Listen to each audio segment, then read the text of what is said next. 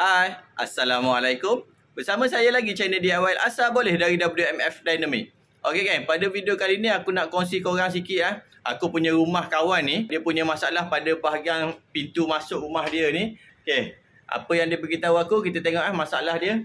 Okey, korang tengok ah dia punya tombol pintu ni sebelah ni bila kita tarik ah sebelah dia jalan tapi dia tak function dia punya lock ni kan. Okey, sebelah lagi kalau aku tarik ni ah dia main. Jadi dia dah lose satu pada bahagian ni. Okey, apa masalah dia pun aku tak tahu lagi. Dan sekejap lagi kita akan buka dia dan kita tengok apa masalah dia pada bahagian sini ya. Okey, satu lagi dia cakap pada sini pun dia punya ni masalah ah. Kunci dah tak boleh nak masuk daripada luar ni. Jadi dia tak kunci lah rumah dia ni beberapa hari ni. Jadi uh, kalau duduk dalam kita boleh kunci kat sini. Tapi kalau kat luar memang nak masuk kunci memang dah rosak dia kata dah tak boleh nak masuk langsung nak kunci dia. Jadi pada video ni aku nak kongsi dengan korang macam mana kita nak uh, selesaikan masalah ni okey.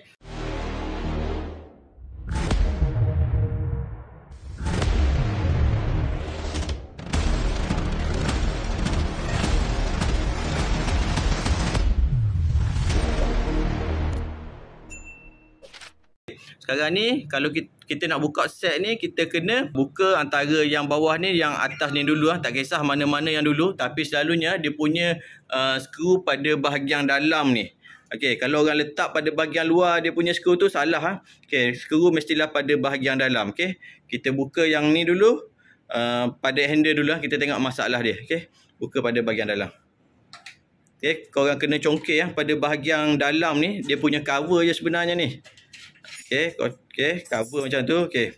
Sekarang ni apa yang aku nampak ah kat sini dia dah salah pasang. Dia punya bahagian flat ni kita tak nak bagi buka ah. Sekarang ni aku duduk pada bahagian dalam. Takkan kita punya pada bahagian dalam ni uh, tak boleh buka pula kan? Okey. Kesilapan dia dekat sini ah. Jadi cuba buka belah sana pula.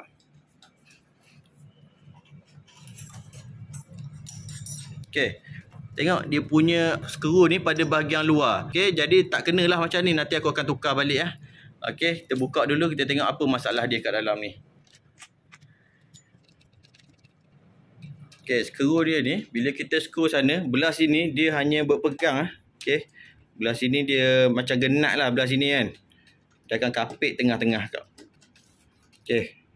Tengok dia belah sini nut, belah sana skru panjang. Sepatutnya bahagian nut ni duduk belah luar sebab takkan nak boleh buka skru ni pada bahagian luar kan. Jadi kalau orang boleh buka dia punya skru kat luar tu, dia dah boleh tarik benda ni, dah dia orang boleh buka daripada luar rumah kita ah. Okey. Sekarang ni tengok uh, dia punya masalah dia yang kita tadi longgar kan. Cuba masuk yang tu. Okey. Masuk dah? Dah. Dapat dah? Hmm. Okey, kita dah masuk rapat dekat sini. Okey, masalah dia kat sini, uh, dia punya batang ni tak keluar kat sini ya. Macam mana dia nak sambung pada bahagian sini kan? Sebab dia punya batang ni tak keluar, okey.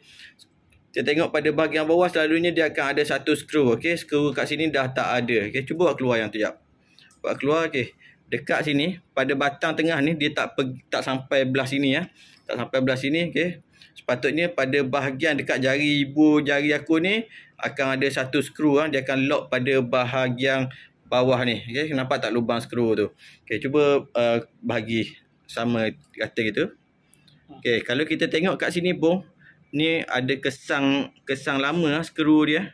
Okey belah sini ada belah sini pun ada kesang skru tu. Jadi sekarang ni skru tu dah mungkin dah hilang ah.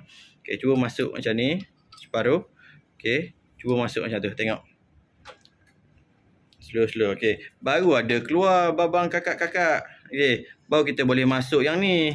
Uh, bila kita masuk yang ni, belah sini pun kita dah boleh main. Belah sana, cuba tengah tarik belah sana. Okey. Masalah sekarang ni, kita hanya cari dia punya skru pada bahagian sini. ya. Yang asal kat sini, ya, sepatutnya dia pakai Allen key dan terus masuk ke dalam. Lepas tu, kalau tak ada pun, korang beli je lah skru biasa tu. Okey. Korang masuk saja kat sini. Tapi kena saiz yang sama lah. Okey keluarkan dulu. Sekejap lagi kita pergi hardware. Okey, kita tengok pula pada bahagian anak kunci dia ni. Yang ni selalunya memang kita tukar satu set lah pada yang ni lah. Yang ni saja kita akan tukar nanti. Kalau dia punya anak kunci tapi kita tengok dulu keadaan dia macam mana. Okay? Yang ni pun sama. Okey, kod dia punya skru. Okey, right. Korang nak buka ni, dia orang dah buka skru tu. Satu lagi akan ada satu skru dekat sini ah. Korang kena buka ah. Ni adalah untuk ikat lock dia. Okey, buka. Skru ni wajib ada. Kalau tak ada, korang kunci rumah pun, kalau dia orang boleh buka yang ni, masalahnya yang ni dia susah nak buka sebab kita dah lock dia punya skru kat sini ah. Okey. Jadi kita dah buka skru ni, kita dah boleh goyang ni kita kena main dekat sini untuk nak keluarkan dia punya uh, kunci ni. Kalau kita tak mainkan dia takut dia duduk keadaan macam ni macam mana korang nak tarik nak keluar kan? Okey? Dia mestilah keadaan dia tertutup macam ni ya. Okey. Ini kita kena tukar ini sahaja. So far dia punya body ni uh, ya. Tak ada masalah ha? kalau sebab tadi kita boleh main dengan anak kunci ni ya. Okey jom kita pergi hardware dan kita cari barang ni ya antara okey guys aku dah pergi hardware tadi. Apa yang aku beli satu set kunci ni yang baru kita nak ganti terus. Yang tadi lepas tu yang ni handle ni aku dapat uh, jenis skru macam ni saja ya. Dia tak ada yang Allen key eh. memang susah nak cari yang jenis Allen key asal ni. Okey kalau korang hilang dia punya skru ni memang susah nak dapat lah. Okey korang kalau nak juga beli satu set okey. Dia ngam lah kat sini okey. Alhamdulillah ngam Okey, sekarang ni kalau korang beli skru macam aku ni, korang tak boleh pasang dulu ah. Ha. Korang kena masukkan ni dulu. Okey. Kita tengok ah dia punya tempat ni adalah skru ah. Skru ni pada bahagian bawah. Okey, ni bahagian luar. Okey, betul. Ni pada bahagian luar. Okey, pegang yang ni. Kita ambil dia punya nut ni, kita masuk. Okey, ni adalah duduk pada bahagian luar. Okey, masukkan nut tu. Kita duduk uh, masuk di sini. Tak payah letak situ. Okey, masuk kiri dan kanan dekat lubang dia. Okay, kita terus masuk dia punya cover ni satu. Masuk terus cover.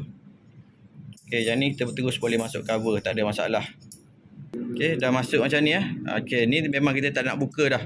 Cover ni kalau ikutkan sebenarnya tadi kita tak perlu buka lagi dah. Sebab kalau dipasang betul. Okay, jadi yang ni akan duduk macam ni kan. Jadi, okay, kita dah boleh pasang dia punya batang tadi eh. Okay, masuk batang tadi. Baru kita boleh masuk dia punya skru ni. Ha, tengok dia tahap dia kat mana level dia kat mana baru kita masuk skru ni. Baru dia tak ada gangguan. Bila kita nak pasang uh, kalau kita pasang skru ni dulu mesti gangguan dengan dia punya casing tu kan. Okey. Ketatkan betul-betul. Ni ambil tengah sikit.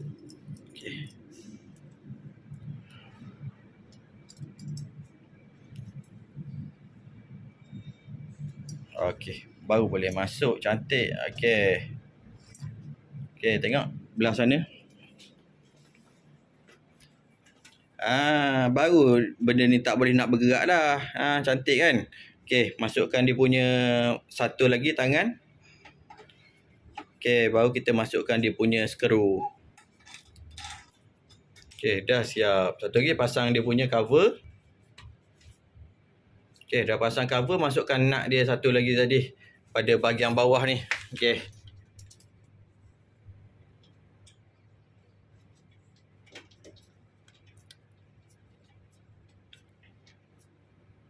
Okey, tak ganggu apa-apa kan. Ha, okey, cantik ni skru paling pendek ah ha, 10 mm. Dia terkeluar macam ni pada bahagian bawah. No problem ah, tak ada gangguan apa-apa pun. Tak ada sofa. Okey ah, tak ada cacat celah.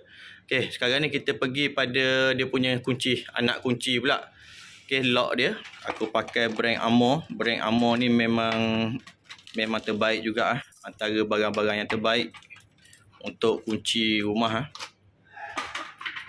Kita akan pasang dia punya cover tu dulu skru dia punya cover kiri kanan ok yang ni nak kena masuk betul-betul ha. kalau sengit penat pula nak cokek nak buka ni ok baru kita boleh masuk dia punya kunci ni ok belah sini dia akan keluar macam ni ya. jadi korang kena masukkan balik dia punya skru dia tengah-tengah ok dah siap skru tu just masuk cover belah sini pula belah luar pula kita punya pintu ni dah hampir siap ok last kali kita pasang casing dia ya. Alright. Okay. Terameng dengan anak kunci baru dia. Okay tak? Boleh masuk tak? Okay. Alright. Alhamdulillah. Okay. Cuba tutup daripada dalam. Kunci daripada dalam. Okay. Main atas pula. Ender. Okay. Cantik lah. Okay guys. Itu saja perkongsian aku pada video kali ini. Terima kasih. Assalamualaikum. Semoga manfaat pada korang semua. Jangan lupa subscribe, like dan komen aku punya video. Ah.